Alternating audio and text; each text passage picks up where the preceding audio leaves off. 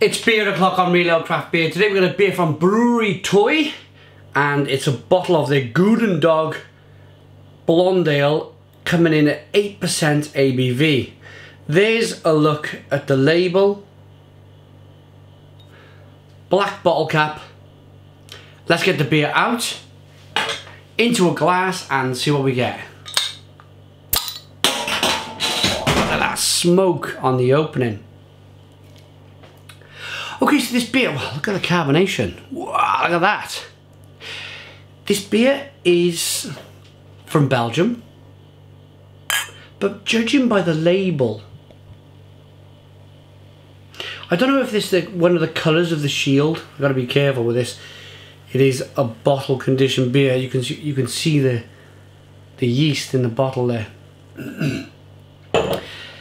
I don't know if it's the, the shield there but for some reason, especially with the name Goedendag, it seems very, I don't know, Swedish or Norwegian, Scandinavian.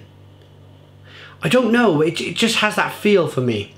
Maybe, maybe it is actually the, I, I'm not sure, I'm not from Sweden, but maybe it's the Swedish Shield versus the, the Belgium Shield. Maybe they had battles years ago. I don't know. I really don't know. I'm oh, there is some English and it does date back to July 1302. So we will read that in a moment. Um, but I like to go into my beer reviews naive. There's no point in me reading up on beers and, uh, and, and then just standing here going, this battle happened in 1302, bloody, bloody, blah. There's no point in that. There's, the, the obvious point for this is kind of blind beer tasting. And that's what I I always do it. I know I seem naive when I do it. Uh, sometimes I get it very wrong. Uh, once recently for uh, the beer, beer, merchants I got there, they sent me this a Belgian pale ale and I, I tried to call it a lambic or, or I remember it being a lambic or, you know sometimes I'm way off the map but I think that's why you guys watch it's why you're here is just to see a blind taste test of a, of a beer. So, one finger white head, nice levels of carbonation. It's a blonde, a lovely blonde coloured ale, 8% ABV.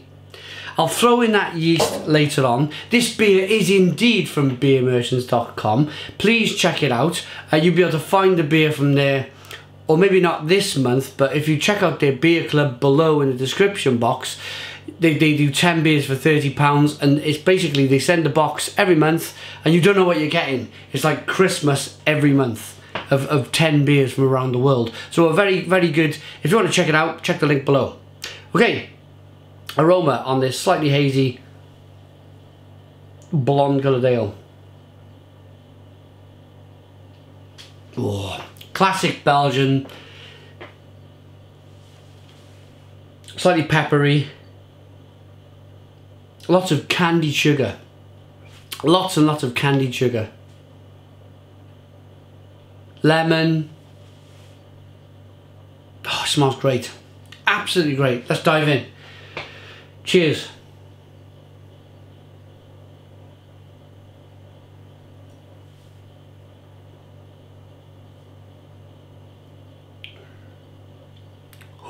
Oh, goodness, I nearly drooled. Oh my goodness me. That is fantastic.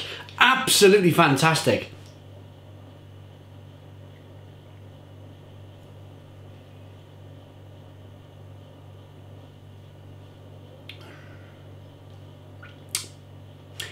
It's really sweet. You get lots of candied sugar. It's wonderfully carbonated.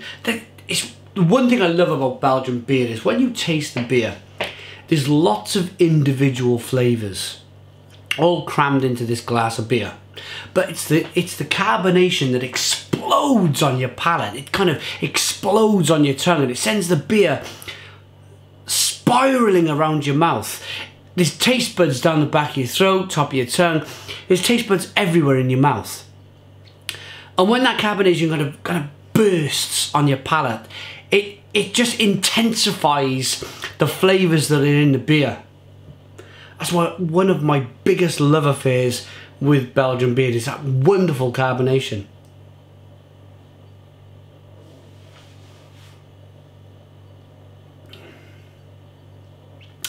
There's hints of banana. There's hints of Hefeweizen about this beer. As is with a lot of, for me personally, pardon me, Belgian blonde beers, so carbonated, it's really kind of, that's the trouble. I mean, nobody ever thought that they were going to be drinking a carbonated beer and talking to a camera live. Well, quite live. Um, you have to deal with the carbonation afterwards as well. So, yeah, for me, Belgian blondes and German Hefeweizens are quite close.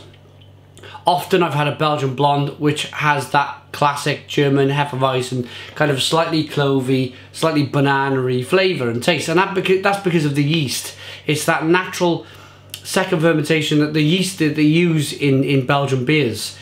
It's quite, I'm not saying it is exactly, but it's quite close, especially the blonde style to German Hefeweizens. So some nice banana, some nice spice.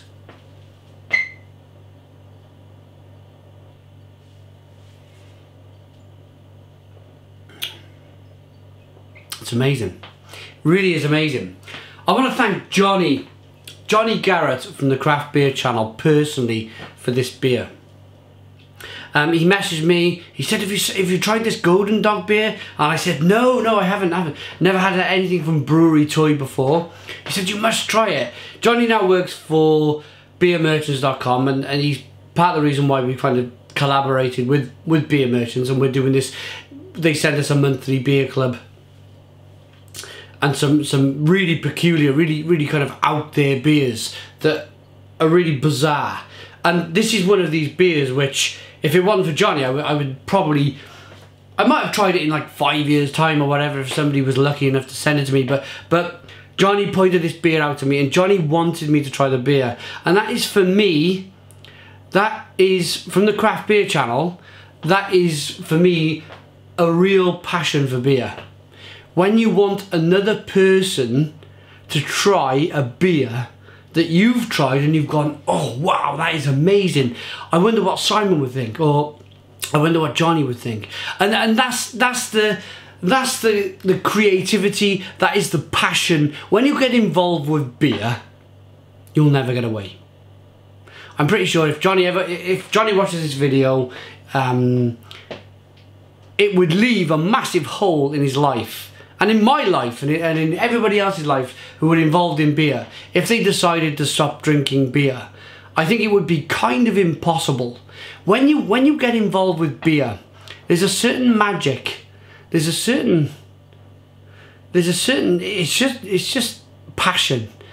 There's so many different styles, there's so many different fantastic beers out there that it, it, it's a lifetime of work to, to drink it all. And so, so yeah, this is my own personal cheers to beer. I'm going to throw the yeast in now, show you what the beer looks like with all that yeast added. It will probably change the look of this beer in the glass. So, nice levels of... There's a little bit of yeast there floating around. Lovely, lovely, beautiful colour to the beer. Should we rate it?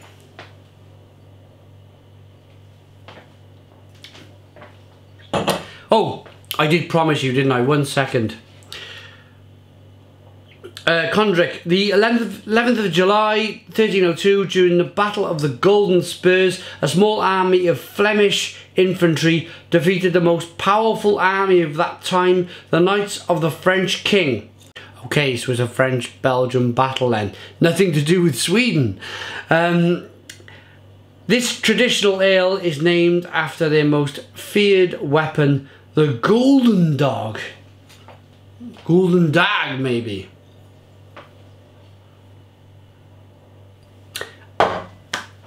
Ten out of ten.